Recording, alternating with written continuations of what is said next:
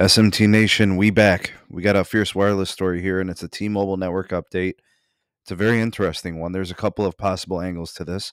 Let's go ahead and get through the actual factuals, and then we can go ahead and speculate on what this means for the company.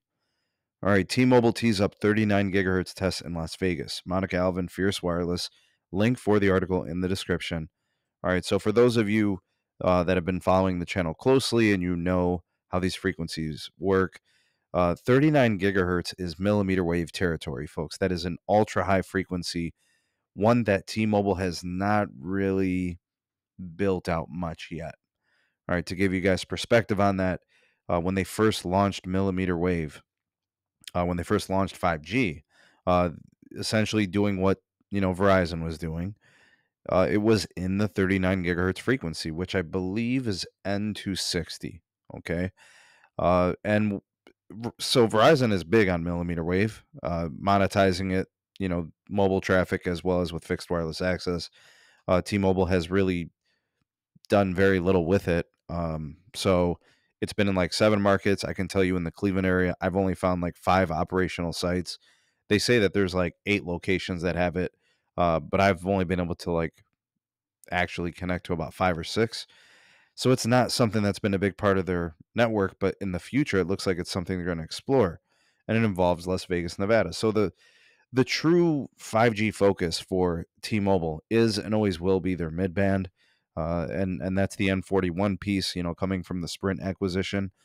Uh, but T-Mobile does have a lot of licenses in the millimeter wave frequencies 37 gigahertz 39 and 47 gigahertz those are some pretty high frequencies folks I think they have some other stuff too. Either it's 24 or 28, I forget. Uh, but uh, it looks like T-Mobile has reached out to the FCC to gain special temporary authority from the agency to conduct tests on 39 gigahertz band. Now, this is interesting because they have 39 gigahertz live in Cleveland. They've got it live in Vegas. Why do they need an STA for testing? Uh, the only thing I could think of is they're changing how they plan on using it right? So instead of you know the st- uh, standard 400 uh, megahertz bandwidth, maybe they're looking at exploring 800 megahertz bandwidth. Maybe they're looking to explore more than that. Uh, maybe they're looking to explore into fixed wireless access home internet to supplement what they're doing with the ultra wide, uh, the ultra capacity home internet. We'll tell you guys, in a place like Las Vegas, we have seen a lot of speed testing from other creators you know, Carlos S. Tech being one of them, and amongst others. And they show us congestion on the N41 channel, or even with, you know, 100 megahertz of N41 plus additional N41 with SA configuration, you know, two cha- uh, two channel aggregation. So th- maybe that's what they're looking into, possibly. Uh, and it does note that they're reducing the number of locations where they want to run the testing. They're reducing it from 11 to 8. Maybe they just want to fine tune it. Uh, that is an Ericsson market, so you guys know.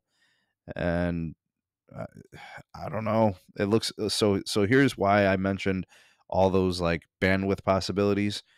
I think it's 100 megahertz per block. So they got N11, 12, 13, 14. So there's 400 megahertz. One, two, three, four. There's another 400. So that's 800 megahertz of contiguous spectrum and how it can be optimized. So uh, to me, I think this this might have something to do with maybe a new use case for them. Maybe it's certain hardware that they want to test, right? Maybe it's a gateway. Maybe it's an indoor gateway, maybe it's an outdoor gateway, maybe it's some repeaters. You know, maybe that's what it is. I know T-Mobile was speaking at a, recent conference and they had finally opened up to the idea of millimeter wave. And that's because they have to, folks. They've put this off as long as they could.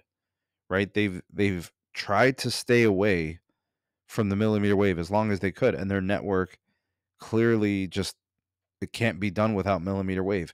You can't have massive market share right in certain markets where they are very successful and lots of customers and then also throw in fixed wireless access subscribers.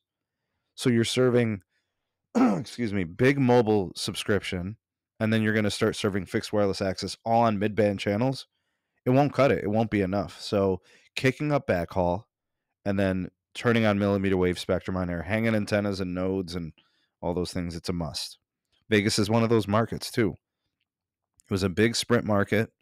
It's a big T-Mobile market now, and there's a lot of people there. I mean, there's a few million people, I believe, in the city. It's no joke, right? And they got surrounding suburbs that are pretty developed, and market shares thick over there. So just throwing this out there. I think that's what this is really about. Um, but you guys can sound off in the comment section. I'd love to hear what you have to say. Do you think this is more about just supporting mobile traffic, or do you think is the, the demand from the T-Mobile home internet? Because again, the T-Mobile home internet folks, I mean, they've already crossed 1.5 million subscribers as of last quarter report. You're probably looking at another 600,000 fixed wireless subscribers added this quarter. That probably puts them over 2 million. They're probably going to end up somewhere around 8, 9, or 10 million.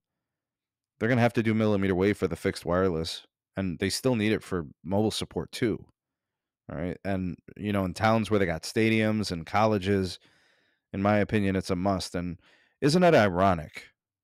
You know the carrier that was throwing shade at verizon for going in so deep with millimeter wave turns out that they were the ones that were short-sighted and they will have to eat crow keep in mind, folks, this is the company that refuses to put the millimeter wave bands on their devices on their website.